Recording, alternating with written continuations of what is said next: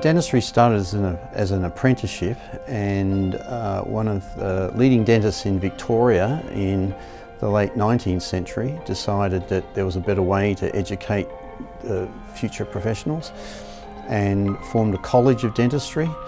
And then that became affiliated with the University of Melbourne in 1904 and uh, the Faculty of Dental Science stayed till 1989 when we merged with medicine and we're now part of the Faculty of Medicine, Dentistry and Health Sciences. Melbourne Oral Health Training and Education Centre is a state-of-the-art facility offering virtual reality surgical training for students as well as a 50-chair dental clinic. It's multidisciplinary where the specialties are integrated so it gives the students a first-rate experience in providing comprehensive oral care to patients. We're the first in Australia to have a facility like this. Uh, we're extremely proud of it and uh, we're confident that it will maintain our status as the number one dental school in Australia.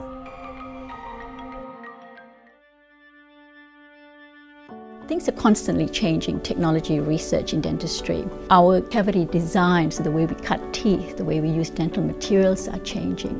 And now with more tasks, we can do more complicated things before the students go into, the, into clinics. The three main technologies that we have here are the Moog Dental Simodont trainers. The Moog is um, a new simulation unit uh, with haptic technology.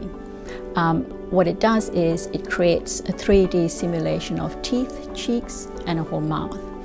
What's nice about the haptic technology is it gives the student immediate feedback. The way they learn independently, uh, they're more confident in going into the traditional pre-clinics. And I've got a lot of feedback from students saying when they get into the clinics to treat their patients, they actually feel that they're ready for the clinics.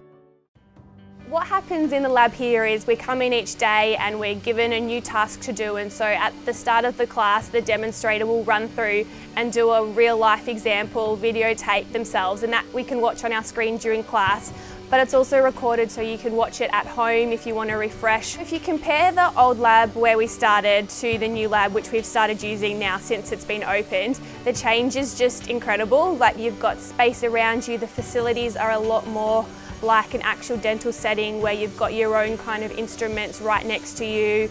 The mannequin heads here that we use provide a great transition into clinical experience. So we have a head, we also have a torso that we learn to manoeuvre around as well. Because you've practiced in this environment, you've got the confidence in the environment and the settings. So when you're going into clinic and you only introduce one new variable, which is the patient, you're a little bit more comfortable.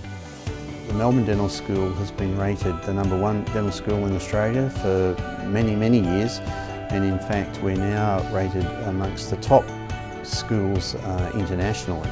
We saw this as an opportunity to be the leaders in dental education and provide a course that we think will produce graduates that will then become the future leaders of the dental profession. So we're extremely grateful to the profession and other people that have supported this and donated significant amounts of money to the university to enable this facility to be built.